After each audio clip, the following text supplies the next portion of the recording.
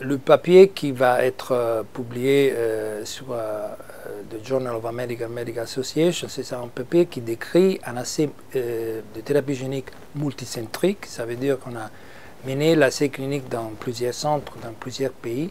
Et ça a nous donné la preuve d'efficacité et de sécurité de la thérapie génique pour la maladie de Wiskott-Aldrich.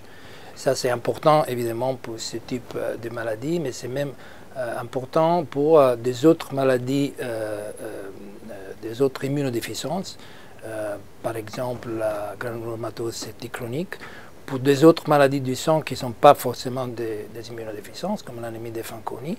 Et dans un futur plutôt proche, on a l'espoir de développer le même type de traitement pour des maladies qui ne sont pas des maladies rares, mais plutôt des maladies fréquentes.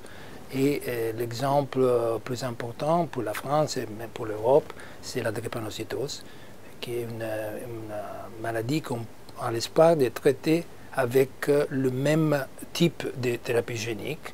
La thérapie génique est basée sur la modification génétique des cellules souches.